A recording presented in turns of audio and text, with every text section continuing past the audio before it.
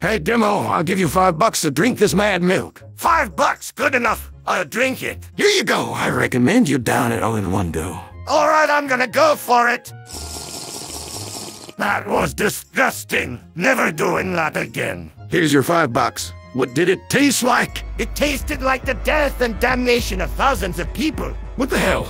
That's incredibly specific and not what things taste like. I saw Hell Engineer, and it wasn't pretty. Keep that mad milk stuff away from me.